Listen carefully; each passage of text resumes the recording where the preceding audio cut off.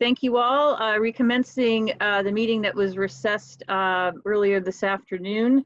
I'm going to turn it over to uh, Monroe County Health Department, Penny Caudill, Dr. Sharp, if you would please. This health order is issued. Are we on?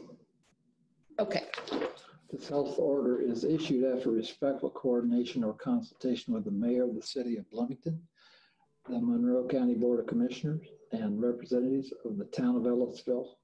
This authority granted to me as the public health authority to act throughout the entirety of Monroe County is recognized by these units as a state power delegated to instruct, guide, and protect the health of Monroe County citizens and the constituents within. I'd like to turn this over now to Penny Caudill, who is the administrator down here at the health department.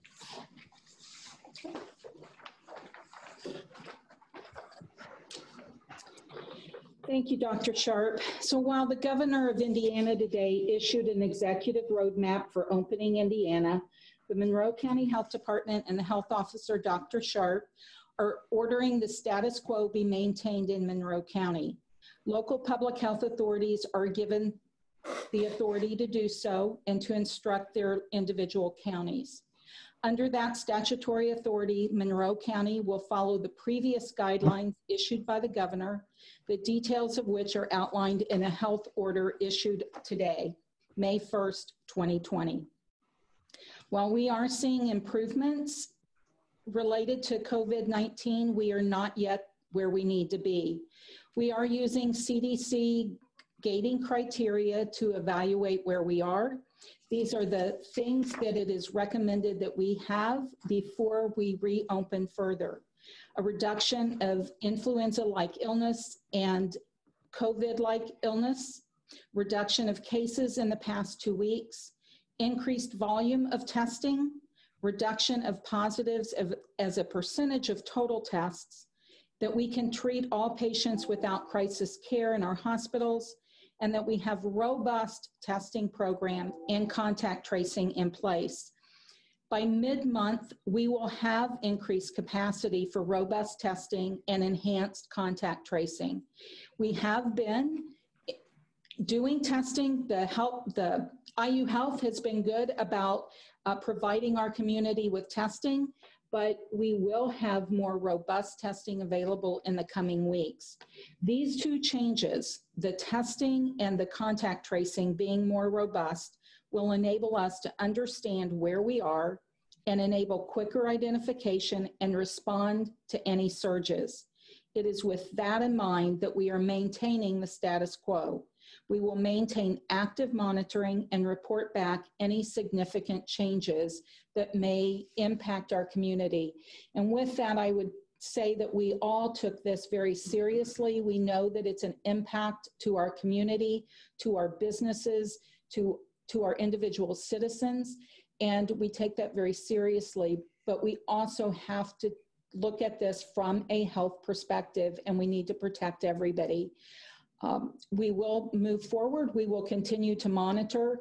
We will report regularly on the status of this, uh, of our data and um, the status of any recommendations to, to the order.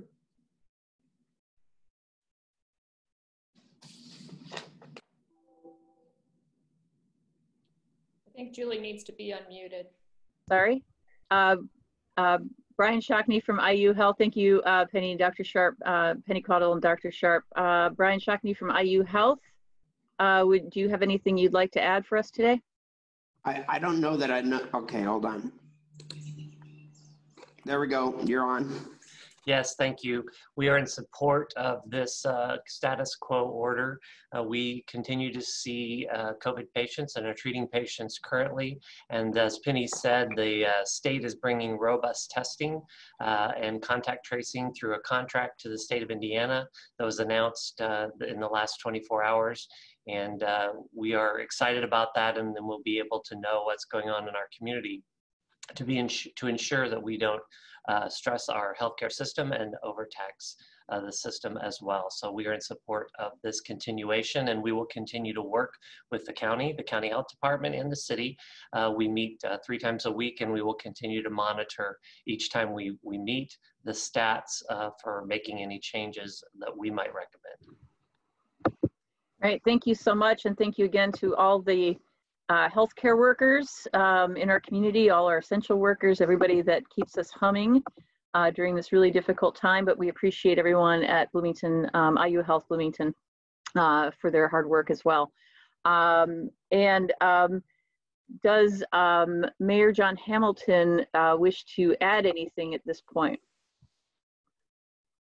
Thanks very much. Um, I appreciate the chance just to briefly comment. Um, I want to add my thanks to the healthcare professionals from whom we have just heard, who have uh, helped guide all of us and our whole community through the pandemic uh, and responding with science and health. And I really appreciate their continued expertise and guidance on that. Um, some folks know my family had a direct connection to this disease and and uh, thank also all those health healthcare workers who've saved lives and and uh, help people uh, restore their health. Appreciate that.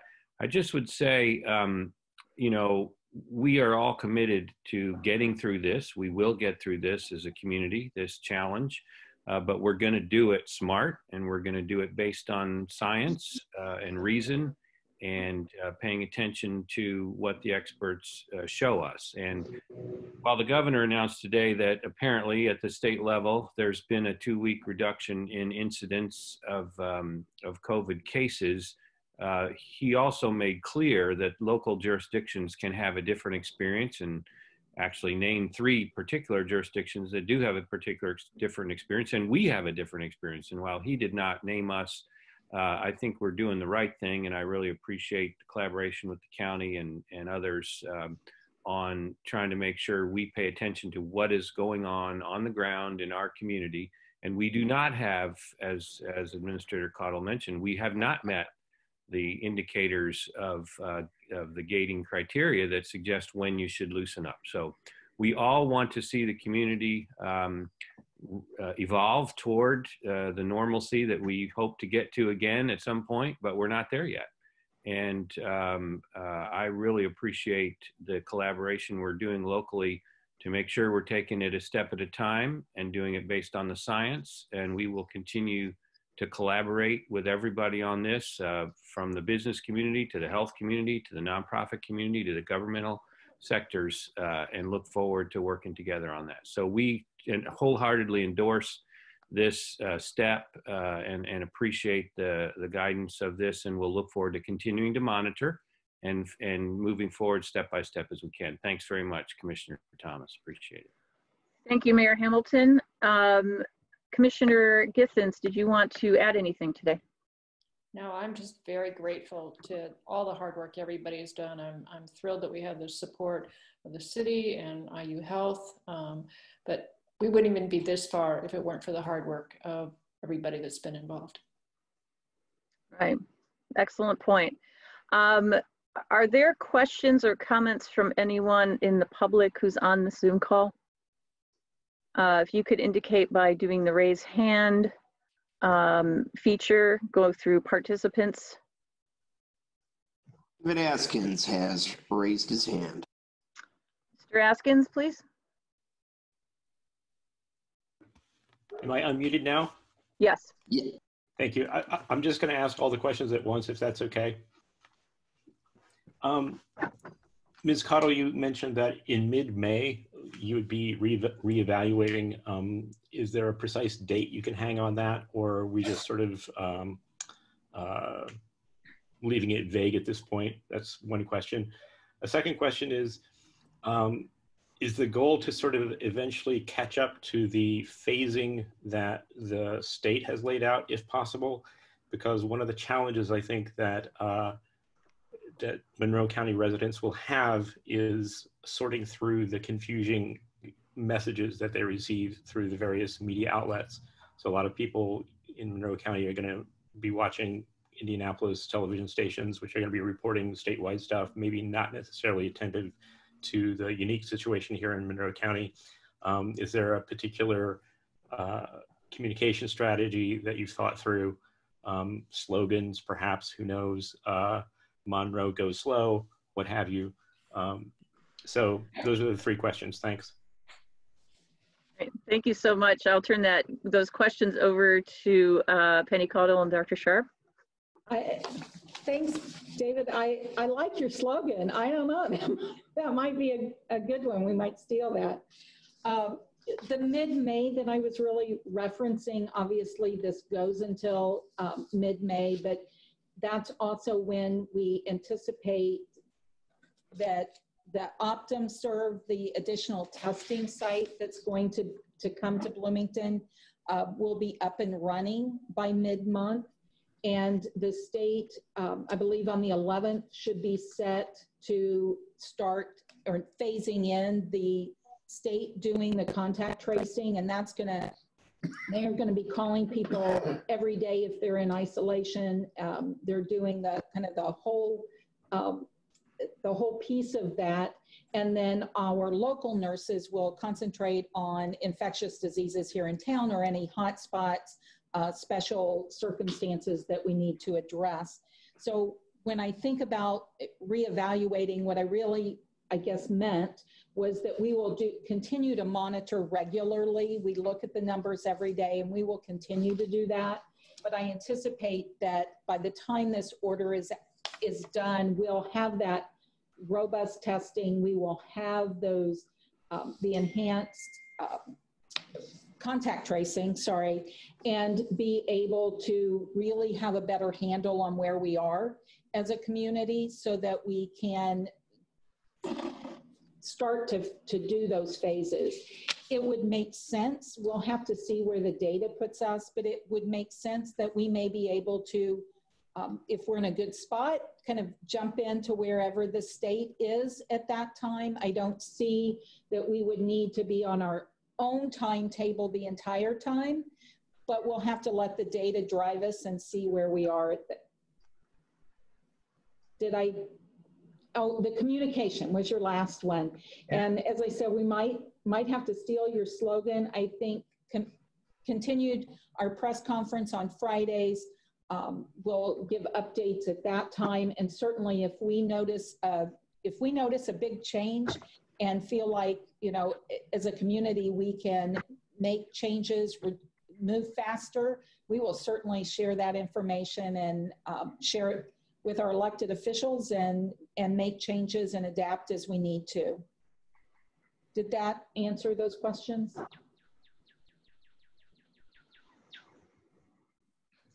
I think so. I think, um, Mr. Askins, if you have additional questions, just uh, raise your hand again and we'll come back to you. Yes, Uh, I, th- that did answer the question. Thank you so much. Thanks. Okay, great, thanks. I- It's a little slower communicating with Zoom because we are, um, we're monitoring the site. Um, uh, Jeff McKim is next. Yes, thank you. I was just wondering if the uh, health order uh, or this announcement was on a website yet, uh, or or will it be? And if so, I assume it will be. Which which one will be in the main county page or the health department page? We will, we will get this on the, the main county uh, webpage, uh, certainly. Um, Ms. Rice, would you like to talk a little bit about this order? And then we'll get to the mayor. Yeah.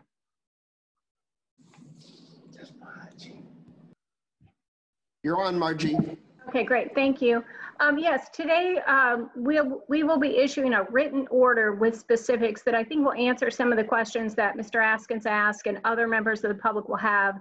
It is based solidly on the authority that, the- that the local health department and Dr. Sharp has, have been given via state statute. So there are references to those state statutes in the order. Also, it references the fact that the city of Bloomington and Monroe County and the town of Ellettsville have their own separate home rule authority. Um, however, in this sort of situation, public health laws trump that home rule authority because we are in a pandemic, as everyone knows, and local counties are given the authority to govern in their specific counties. That's why Governor Holcomb recognized that on a county by county basis, there may be different approaches taken, um, not to confuse the public, but to understand that there is not a one size fits all. And so in Monroe County, Dr. Sharp and Penny Caudill have worked with the local units of government, and uh, we have decided upon a continuation of the status quo May 1st until May 15th. Those specifics are in a written order, and um, I think the elected officials on this call can can talk to you about those specifics. But I just wanted to, everyone to know from a legal perspective, we are on um, solid legal ground to operate independently of the governor because of the authority given to the health department and to Dr. Sharp. Excellent. Thank you so much, Ms. Rice. Um, Mayor Hamilton, did you have something to add?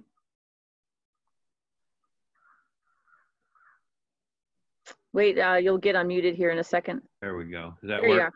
Thanks. Thank you. Um, I just want to partly respond to, to Dave Askin's questions and to um, uh, and agree with everything that's been said. In terms of catching up to phasing that question, um, we certainly, as as Administrator Caudill said, will work to do all we can to to uh, allow more and more activities as appropriate. But I'll just give one example. The governor's order would have uh, if frankly encouraged slash allowed gatherings of 25 people to start Monday. That is simply not appropriate from our health judgments of what's going on in our community. And his phasing would suggest allowing gatherings of 100 people starting three weeks from Monday. And I would be surprised if we get there that quickly for this community and given the sensitivity of how many hundred person gatherings there might be in our community. And so even if we do catch up in some ways to some of the phasing, which which we may well do, there may be other parts of it that we tailor to our local uh, climate needs uh, uh, threats. So just wanted to note we can we may be tailoring that as we go forward too. Thanks a lot. Right, and that is uh, that is a great point. We we will be following the data. Science is leading us, and fortunately, we have great scientific experts in our community. Thank goodness, uh, who are giving us the right data and and leading us uh, appropriately.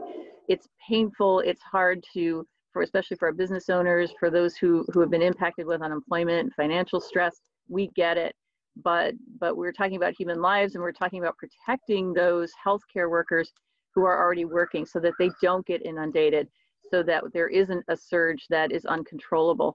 Um, and it's really hard to balance those things out. Um, it is difficult and we acknowledge that and, and it was not an easy decision to make uh, from many perspectives. Um, but are there other questions coming from anyone on this call Yes. uh, uh, mr sigler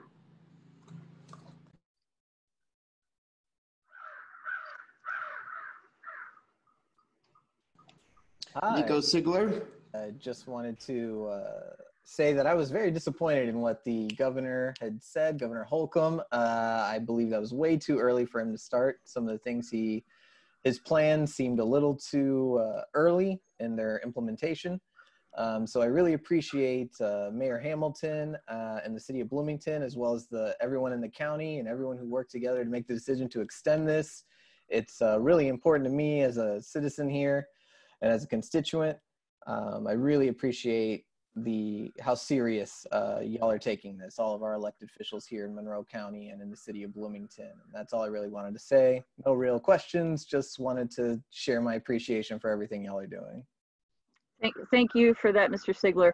Um, is there anyone else who wishes to speak? Uh, be sure to use go to participant tab and go to raise hand. Yes, uh, we've got Ernest Rollins from the Herald Times. Mr. Uh, Rollins, You're unmuted. Thank you, Eric. Um, can everyone hear me? yes. Yes. Um, so my question, I have, I was- have a few of them for now. Um, how exactly will this um, local health order be enforced? And that, as Dave Askins, in order to some people don't always follow the communications. So if on, people show up on Sunday for regular service and you guys hear about it, how will you communicate to those that this is not the case for Monroe County? And my next question I have is, how does the governor's order impact your ability to continue to provide relief to like food banks and businesses? I know the commissioners were hoping to do another round of food and beverage tax money to help businesses. This is not a complete lifting of the order. This is kind of more of a partial. So I'm wondering if that gives you guys some leeway to, to kind of get your to kind of go together and get like the request of funding from the food and beverage tax to help Great. Okay, thank you so much, Mr. Rollins. So I'm going to divide up the question and I'll turn to um, uh, the health department first to answer the question about enforcement.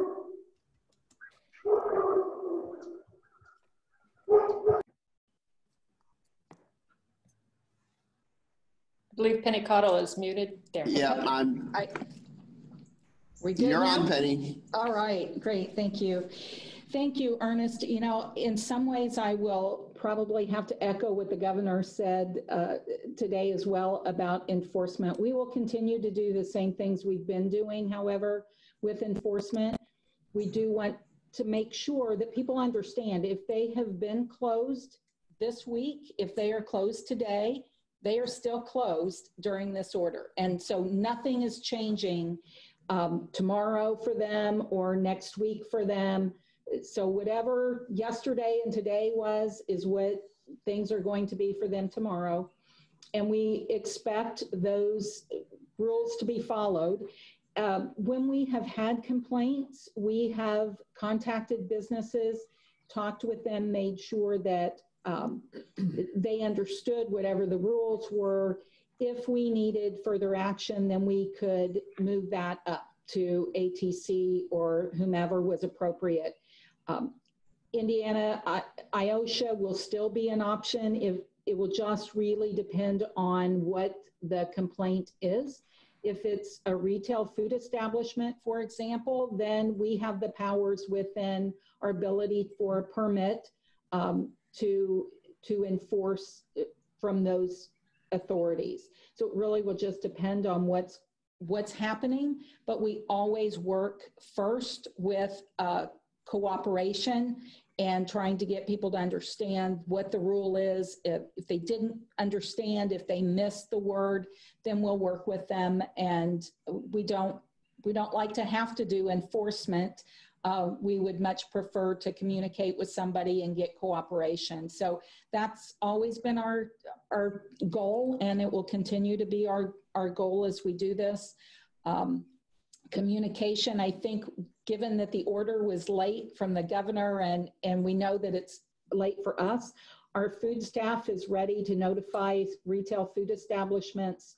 Um, as soon as we are off of this and, and I can give them the complete update, as well, and we'll go from there. But we'll continue to communicate um, through every avenue that we have. Right. Thank you so much, Ms. Caudill. Uh, Mr. Cockrell, if you're able to, um, uh, Mr. Evans will unmute your mic. Could you speak on the question Mr. Rollins had about food and beverage grants from the county?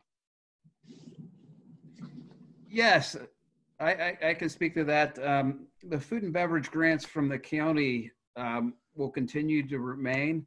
I think if you look at the governor's order 25, um, it, it, indicated that the emergency is going to be extended until uh, June 4th. So that gives us that kind of time frame.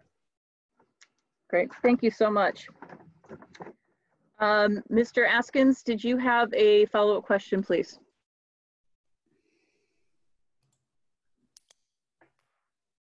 Hold on. Yeah. There we go. There we go. Okay. I had a question about the status of public meetings and uh, the ability of public bodies to continue to meet by Zoom. I wasn't able to sort out uh, by looking at the orders myself. I didn't study them in detail, but maybe Mr. Cockrell or Ms. Rice have done that.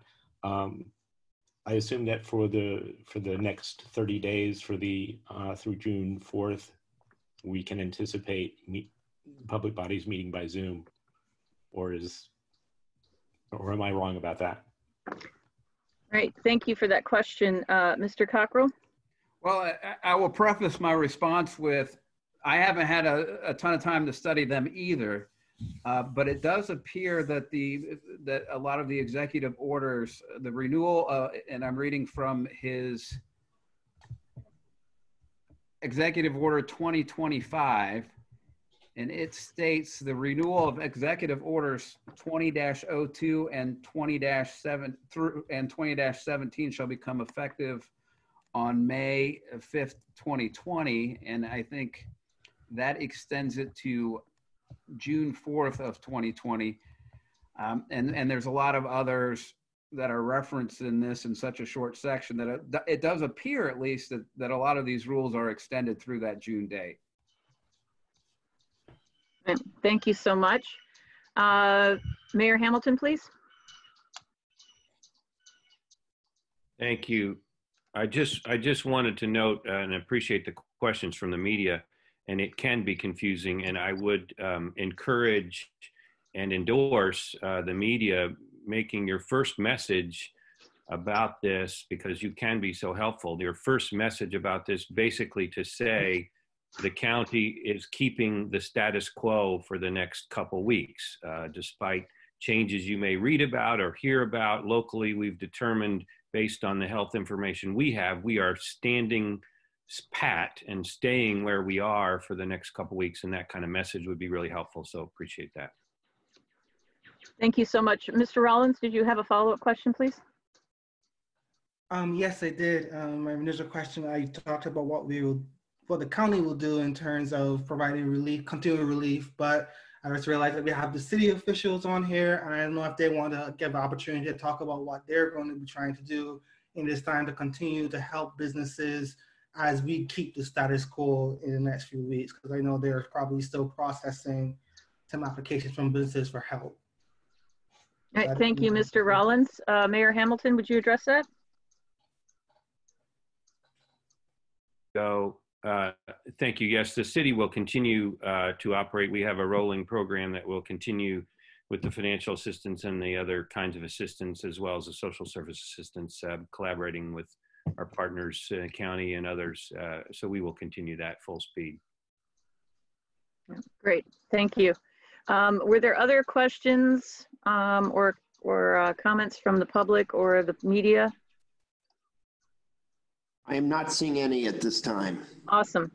Um, yes, just, um, you know, the message, it, as confusing as it may seem um, from the, um, you know, 200 foot view or the six foot view, um, the message is pretty simple. And that is we are continuing as we have been um, through May 15th locally. We are maintaining vigilance, but we're also going to be flexible. If things uh, turn uh, one way or the other, we are going to act locally to protect our residents. Or if things go really well, and uh, then we will we will act in such a way to loosen restrictions more quickly. We that's what we all want, but we all want to do it safely um, and in good health. And we cannot thank the community enough for everything they have done to this time. Uh, it's been difficult. It's it's been tough. Um, we know it, and uh, we've all lived it. But we know that that the only reason we're in as good a shape as we are um, don't see this this extension as defeat, but look at the way that we have flattened the curve. And I think that that's a testament to our community working together uh, from every um, angle and every avenue. So uh, we do appreciate our community, and and we certainly take this this very seriously. And would ask just for your continued patience and forbearance, and uh, hang with us, and we'll get through this together. Um, did anyone else have any uh, final comments to make from our group of speakers? Okay, so with that, um, uh, I will go ahead and um, adjourn this meeting. Uh, I want to thank everyone for being on this uh, Zoom meeting. I want to thank everyone in our community for their hard work and, our, and the leadership, especially um, Bloomington Health, um, um, IU Bloomington Health, uh, Mayor Hamilton, um, are, of course, Penny Caudill and uh, Dr. Sharp. Thank you all so much. And uh, everyone be well, and we will keep you posted. Thanks.